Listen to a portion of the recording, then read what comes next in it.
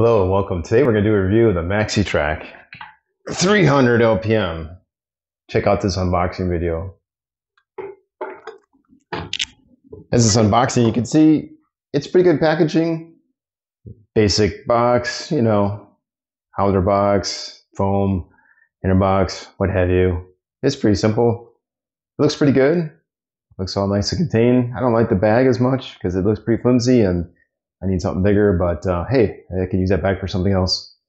But uh, there's the unboxing video. What I like about it, what I don't like about it. First of all, it's orange. It's a lot of orange. It's not bad orange, but I really don't care for it. I'd rather have it black or something else. But I guess Maxi Trac wants to make it really noticeable. It's orange. I don't really care for it.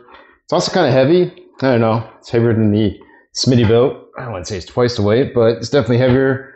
Kind of big and bulky. Um, I don't know. It's definitely louder, like the dual compressors.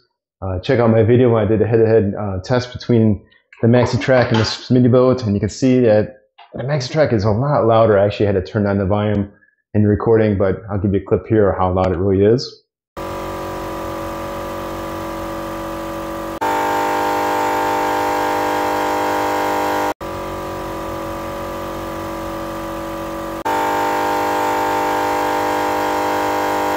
And you can see it's a lot louder. so it's orange, it's heavy, it's loud. That's what I don't like too is the connector, this connector right here. That guy, can you imagine that? Each tire, you have to screw it on. It probably takes 10 twists you have to turn off. To check your pressure, I'm going to use this. It's, not, it's a okay gauge, but it's not very accurate. Well, at least down to the level I like. So I had to take this off and check the pressure and put it back on maybe three, four times per tire. Imagine doing that when it's hailing out.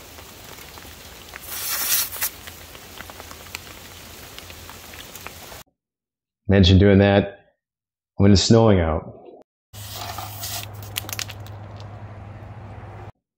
Imagine doing that when it's raining out.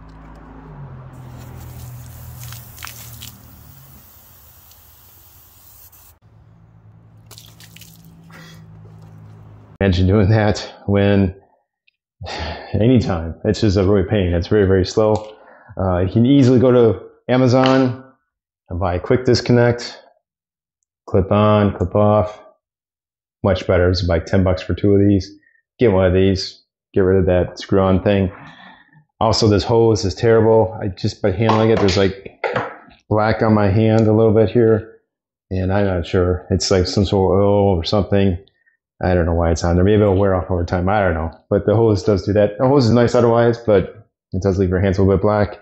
Another thing I realized, especially on using my uh, Maxi Trac, is this back hose here uh, actually started cracking after about, I don't know, 20 times being used. I, it's only a few months old and it's definitely cracking. It's not leaking, but it's definitely cracked. So kind of another thing I don't like about it. those are all, you know, fixable. You can fix the hose you can fix the you use. I mean, personally, I don't do one tire at a time. I use my multi-plate system, so I don't even use this. Um, you know, but uh, for what it is, it's not bad. It's just going to leave your hands black for a while. But that connector, that's the worst. Whew. So it's orange, it's heavy, it's loud. Uh, it's the connector and the hose I don't really care for. Um, but what do I like about it? It's fast and expensive. It is really fast. I have a comparison I made between um, the Maxi Flat and the Smittybilt in a different video. You should check that out.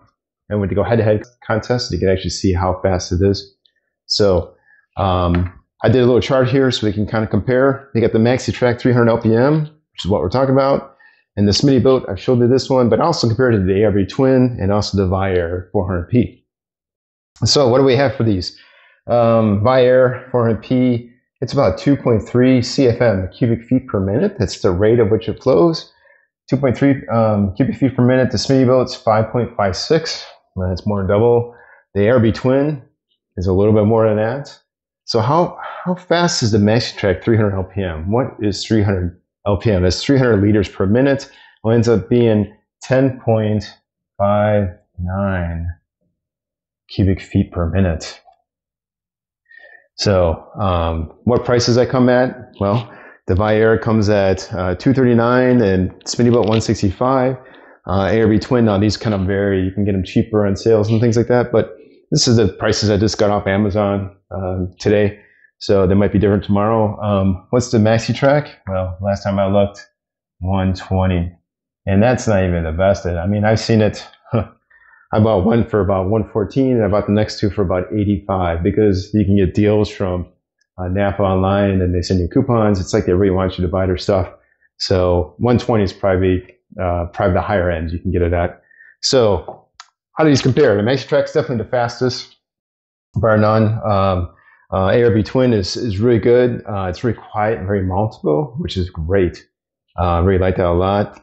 Smittybilt is uh, it's also fast and it's pretty inexpensive for the price or for what you get. Uh, 165, it's pretty fast.